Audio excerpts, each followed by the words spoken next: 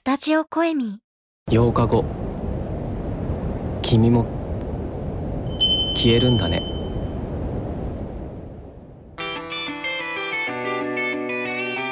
なぎちゃん。村の案内するよ。ナギは天馬村に来るのは初めてか？2年生の4人しかいない高校だし改めてよろしく。